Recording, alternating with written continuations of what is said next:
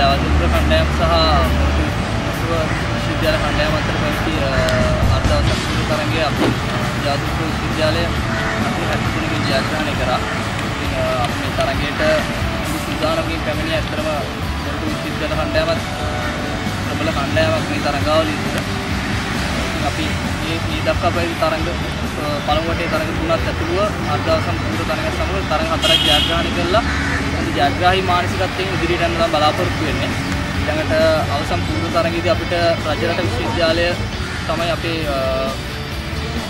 අපේ අභියෝගයට එන්නේ. ඉතින් අපි බලාපොරොත්තු වෙනවා උන් සමගත් හොඳ තරගයක් දීලා මේ වගේ ජයග්‍රහණයක් ලබාගෙන අපේ ජාතික විශ්වවිද්‍යාලය තරගාවලියේ සුදුතාවය කරා රැගෙන යන්න.